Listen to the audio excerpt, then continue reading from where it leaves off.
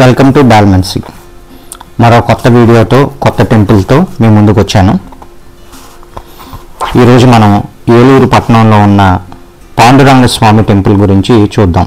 ఇదే పాండురంగ స్వామి టెంపుల్ గోపురము. ఈ టెంపుల్కి వెళ్ళాలంటే పాత బస్ స్టాండ్ పక్కనే ఆనుకునే ఉంటుంది. ఈవెన్ పాత బస్ స్టాండ్లో చూస్తే ఇందాక చూసిన గోపురం కూడా మీకు కనిపిస్తుంది. ఈ టెంపుల్ ఎంట్రీ ఎట్లా ఉంటుందండి? షాపుల మధ్యలోంచి వెళ్ళాలి. పాండురంగ స్వామి టెంపుల్ చాలా పురాతనమైనది. సుమారు డెబ్బై సంవత్సరాలకు ముందు ఈ గుడిని ప్రతిష్టాపించారు. ఈ గుడి యొక్క ప్రత్యేకత ఏమిటంటే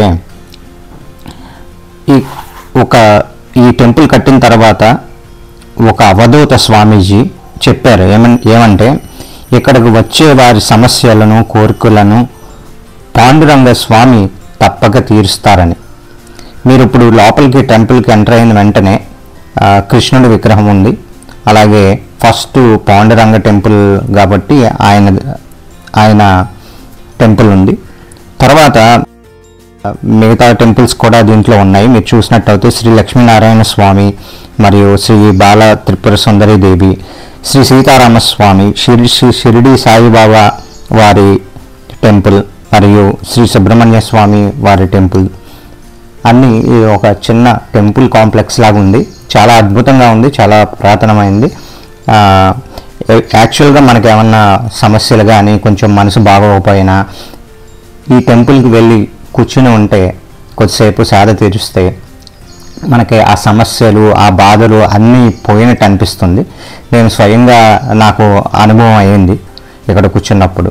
సో మీరు తప్పక దర్శించండి. లోపల టెంపుల్ వెనక భాగం ఇది. అలాగే ఈ గుడిలో బయట ఆంజనేయ స్వామి వారి విగ్రహం ప్రతిష్ఠించి ఉంది.